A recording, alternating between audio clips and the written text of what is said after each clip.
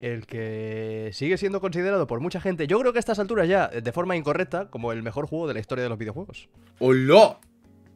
Claro, no- porque, no lo di- porque ahora. no lo digo- no, lo no, digo yo.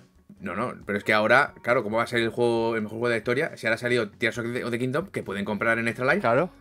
Claro, claro. Aparte de un juego de mercha, con envío rápido 24 horas, ¿sabes? Claro, eso, Eh, o sea- toda España. poderse comprar en Extra Life junto a merchandising y tal es algo que no se puede decir de Ocarina of Time y sí del Tears of the Kingdom. Y tú empezaste Pues- por Ocarina, ahí está pues el, salto Ocarina. el primer salto generacional. Claro, es que mi primera consola fue una Nintendo 64 que yo heredé de mi padre. eh, o sea, a mí no me dejarán entrar en Retro Barcelona. eh, y tenía ya un montón de juegos. Y uno de ellos era el, el Zelda. Y el Zelda, como ya hemos hablado, estaba con textos en, en español, pero un poquito por mis cojones. ¿sabes? Exacto. A ver, en realidad no te mentían, porque yo creo que te ponían texto en español en la caja o algo así, ¿sabes? Te Sí, decían como. En la caja no lo, no lo pone la versión PAL. Pero por ahí había algún sitio donde ponía textos en español. Y era mentira, el juego está completamente en inglés. Pero te venía con un librito. Y ese librito venían todos los diálogos, todas las interacciones, todas las palabras traducidas. Exacto. Donde te Todo, salía todo, todo, todo. La, la frase en inglés y justo abajo la frase en castellano. Y tú tenías que ir chequeando ese papel para, mm, para verlo. Pero como mi madre me tiró em, todas las cajas de la Nintendo 64, un día tengo que hacerle números y decirle a mi madre todo el dinero que tiró a la basura, porque, madre de Dios, Sí. Mm, Yo no tenía una forma de pasarme este juego porque yo tenía como 7, 8 años. No tenía ni, ni papa de, inglés. Así que mi señora madre, trasteando con los ordenadores que empezaban a ver ya en las casas, me imprimió pues como un dossier de 50 páginas en texto plano explicando de aquí tienes que ir aquí, de aquí tienes que hacer esto, tienes que coger esto, decirle aquí esto. Y punto por punto, sin enterarme de nada de lo que pasaba en el juego, me, me pasé el, el Zelda mm, solamente siguiendo lo- las indicaciones de la guía. Fue una, Claro. experiencia, una experiencia curiosa. Nosotros, mi hermano y yo, no, nos negamos a, a intentar. pero ahora ya éramos mayores, ¿sabes? Claro. Y ya te digo, la guía esa de lectura, o sea, te salvaba el culo. Pero regular. Bueno, Te- todavía me acuerdo. Tenía un orden curioso esa guía de lectura. Mucha gente sigue considerando el Ocarina of Time como el mejor juego de la historia por todas las cosas que introdujo y cómo, Claro, claro. Cómo se sacó la chorra y la puso sobre la mesa, ¿sabes? En plan, estos son los videojuegos ahora. Y el resto de la industria dijo, yes, honey. Y, y le siguió, ¿sabes?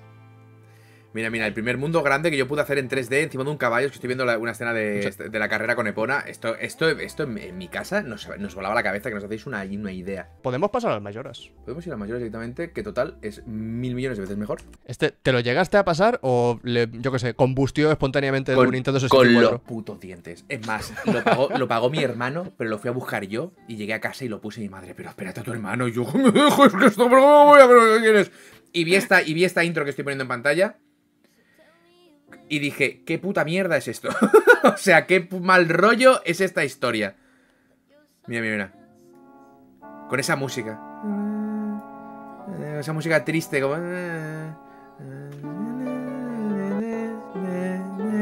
Y yo pensando, ¿qué es esto? ¿Qué está pasando? ¿Qué me han vendido? Y luego descubrí, eh, para mí, el que es el mejor Zelda. Supongo que, a ver, todo el mundo conoce la historia ya a estas alturas de cómo se desarrolló este, este Zelda. Pero básicamente estaban haciendo como una cosa continuista del, del Ocarina, que al final se quedó en, en nada. Y en Nintendo dijeron: Queremos hacer una cosa distinta. Dijeron, vale, pero tenéis un año. Dice, ¿Cómo? Mm. Me sobran seis meses, payaso. Exacto. Y hicieron. Tardaron como un año y medio, creo que no llegó. Aquí podéis ver cómo Numa realmente es una persona de mierda. O sea, no, no- o sea, Sí, sí, totalmente. Un juego súper, súper misterioso, súper oscuro, con, con esta mecánica de repetir los días. Eh, Mm, a mí me, me las- costó, me costó un poco, ¿eh? Debo decir que me costó un poco porque a mí no.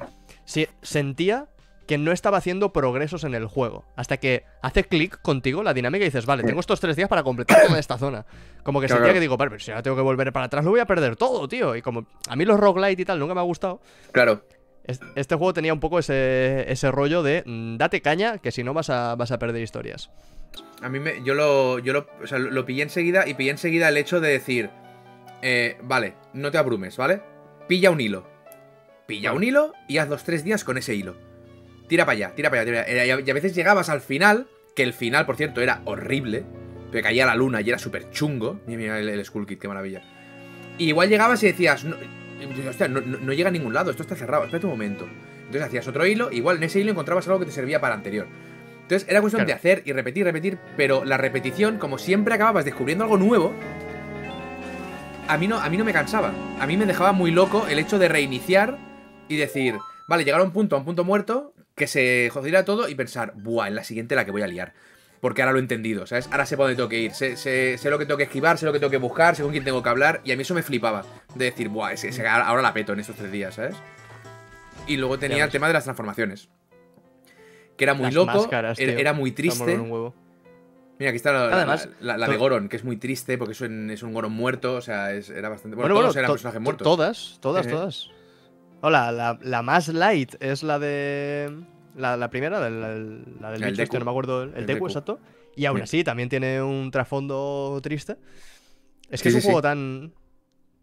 Coño, la, la ambientación, la música, los colores, las historias, transmite, tanto.